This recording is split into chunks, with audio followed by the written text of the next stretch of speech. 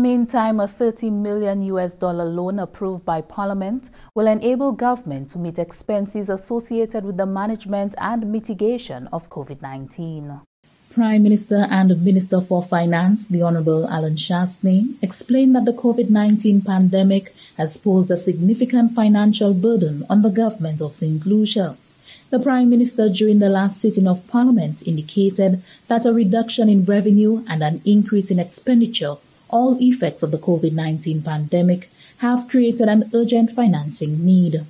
It is against this backdrop that the Prime Minister presented a motion seeking Parliament's authorization to borrow an amount of US $30 million from the Caribbean Development Bank, CDB.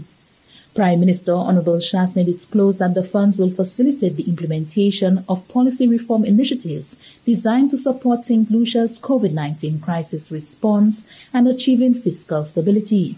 Mr. Speaker, the policy-based loan is structured around two pillars, and the measures supported are aligned with the Government of St. Lucia's COVID-19 response strategy.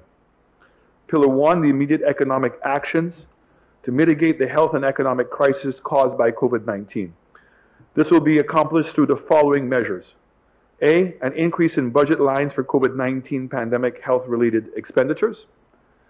B. The implementation of an approved COVID 19 pandemic response strategy, PRS.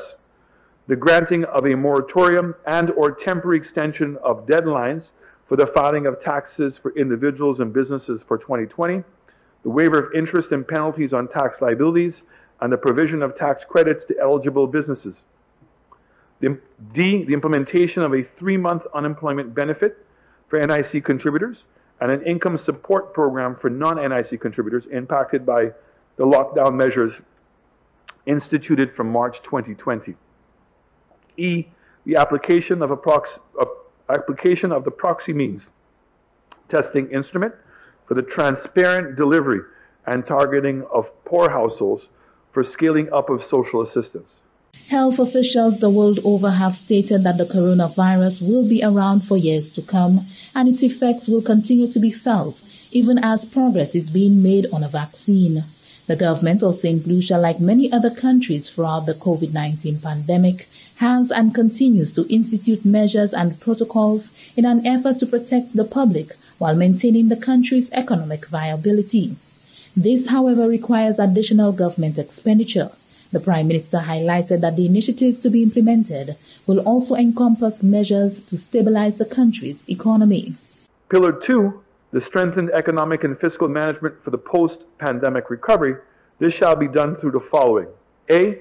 The preparation of an ERP to resume equitably fiscal sustainable growth guided by fiscal risk analysis, the establishment of a fiscal rules policy framework, the adoption of a public debt management policy, D, the implementation of an electronic public procurement platform.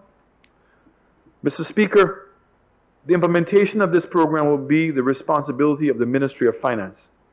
The Ministry of Finance will work alongside the CDB and other stakeholders to coordinate all actions across the relevant government agencies. The loan consists of a special funds resources portion in the amount of US $10,800,000 and an ordinary capital resources portion in the amount of US $19,200,000.